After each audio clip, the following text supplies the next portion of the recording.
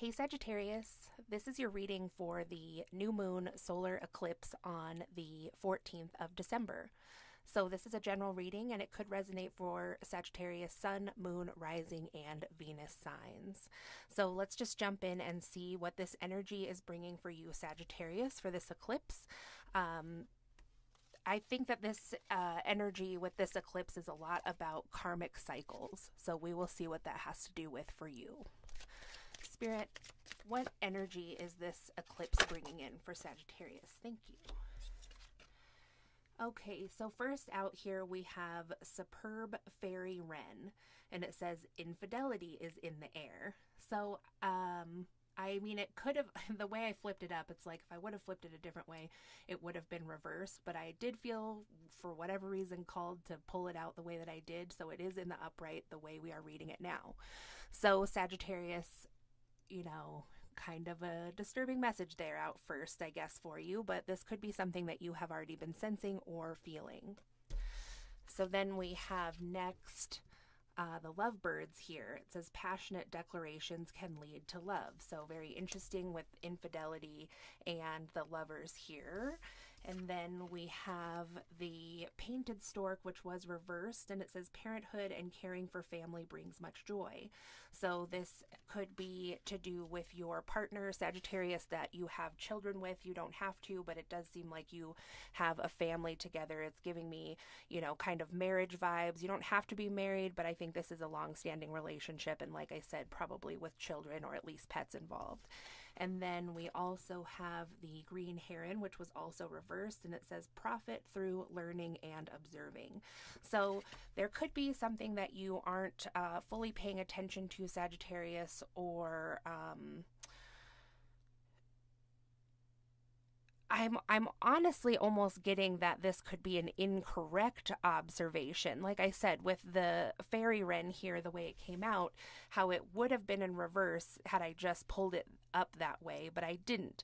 So I I kind of feel that this could be confirming for some Sagittarians that you've been sensing this energy, but I think that your discernment could be a little off in this. But we'll get some more cards just to clarify and make sure.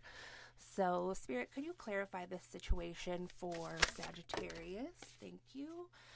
So we have the Page of Wands here, and it says, An amazing opportunity. Be bold, courageous, and optimistic.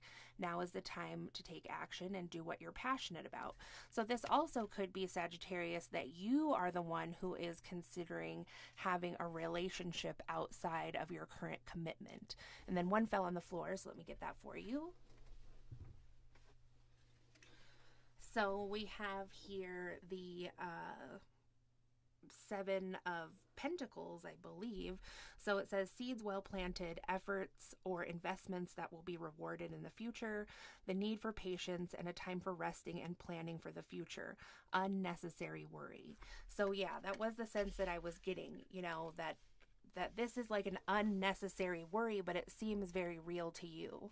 So, Spirit, can you please clarify why Sagittarius feels so strongly about this infidelity? Thank you. So we have this uh, 10 of Wands here, and this is about working too hard or having a work life imbalance. So either you or your partner or both of you are concentrating a lot on work. Perhaps this takes a lot of your partner's time, and that might lead you to think, like, is this just about work or are they doing something else when they're saying they're at work? And then we have the magician here, which says magic is alive in your life. What you need to be successful will manifest. If you believe it, you can do it. So the magician here does seem to me like there could be a little bit of manipulation here, perhaps. Um, let's just get some more clarifiers here. Please clarify the magician. Thank you. So we have, interestingly, the Three of Cups reversed. So, you know, the Three of Cups is classically a card, especially the way it's depicted here with one man and two women, uh, but it was reversed. So I think that this could be about your partner and work, and you are fearful or feeling like your partner is giving too much at work, maybe that they're interested in someone that they work with. Um, but with it being reversed, I don't really get the sense actually that this is like uh, romantic or infidelity. I think this is an unnecessary worry that you have, Sagittarius. Then we have the King of Pentacles here, and he was upright. So it says compassionate, accomplished, charismatic, grounded, a time of great success, financial security and prosperity, the Midas touch, everything turning out beautifully, a supportive parent and spouse, and a good person to work for. So this is kind of giving me the vibes. I mean, I think this is your partner or your husband here. Like I said before, I mean, definitely this person is a very hard worker. They spend a lot of time at work, but they also provide financially for the whole family, or they at least have the capability to do so. So you know, he does spend a lot of time at work, but it pays off. You might not see it paying off yet, even though I kind of think you do. But I mean, there might be like a big surprise bonus at the end of the year for him. And I think that that will be revealed with this uh, solar eclipse. That some of these fears that you had about infidelity were actually maybe about some kind of project that he's working on that he might not have been very verbal about because it's obviously taking up a lot of his mind space here. So then we have the uh, Four of Cups here, and it says failing to recognize a magical opportunity, missing the point, the distractions of daily life, discontentment or boredom, and lost in your own world. Wake up.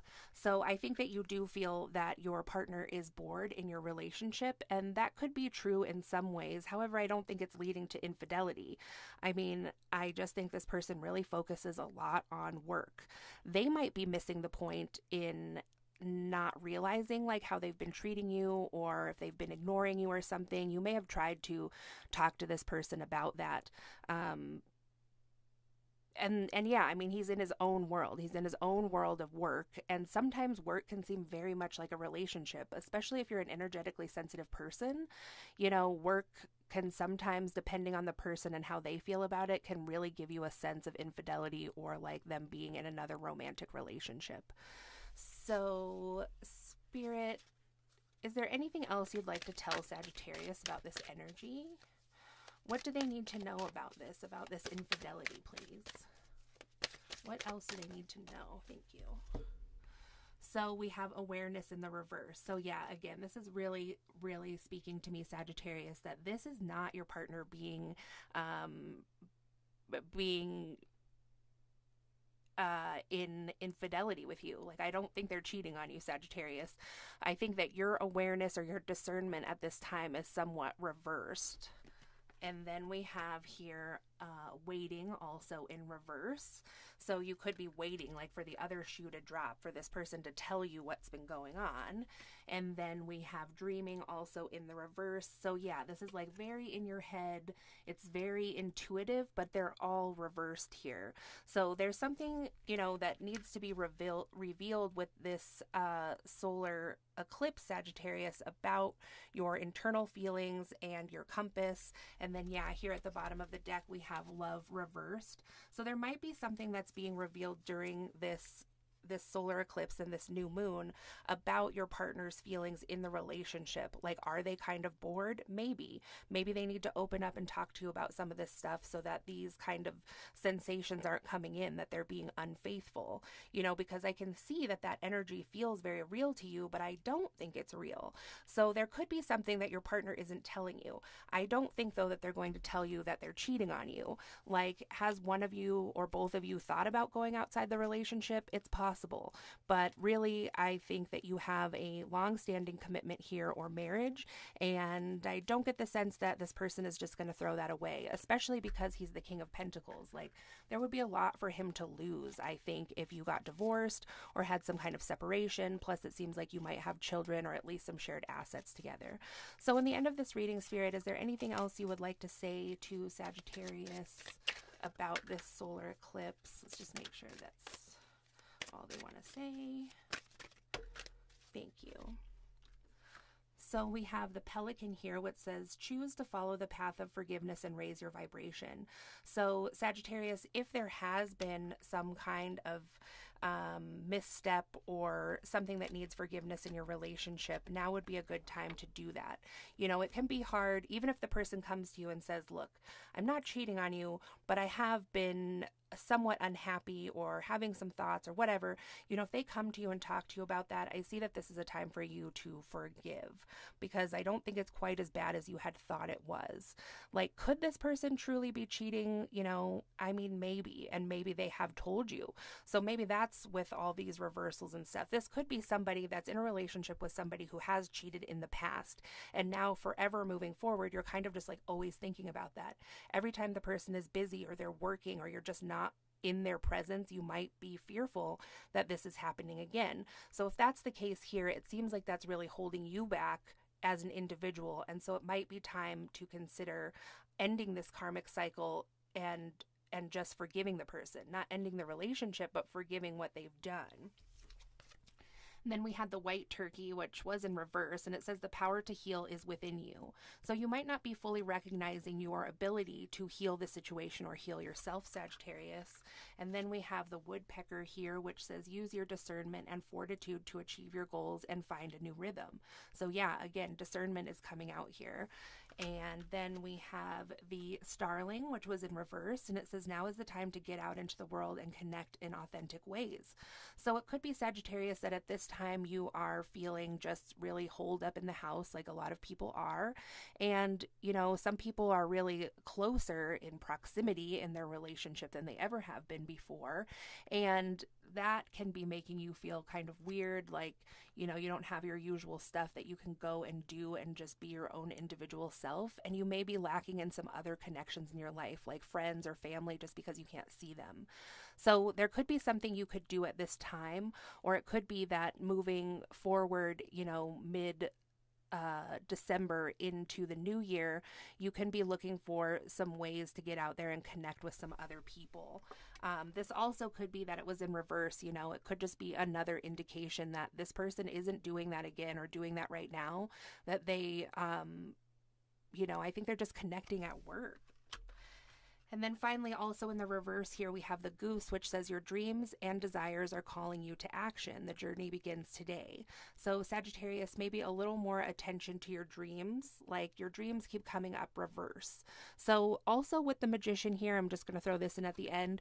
You know, this could be kind of like some dream pollution that's going on or something. If there's something in your dreams that's really causing you to think that this person's cheating, but nothing else is, like that's not exactly a good or a stable um, conclusion to come to just based on a dream. Even if you are a person who has prophetic dreams and stuff, if there's nothing else indicating that, just with the magician coming out in the upright, I would just take a closer look at that and you can ask, you know, your guardian angels or your spirit guides or ancestors or whoever you work with, you can just ask them to come in and help you with that energy and help to explain to you why you might be having dreams or, you know, kind of like visions or indications or something, but not really seeing the real world proof of what's going on. So that's what I have for you, Sagittarius, for this new moon eclipse that's coming in for you. If you like this video, if you could please give it a thumbs up, I'd appreciate it. If you haven't subscribed, you can do so to see more videos like this. If you'd like a personal reading, my information is in the description box below, and I'll talk to you again soon. Thanks.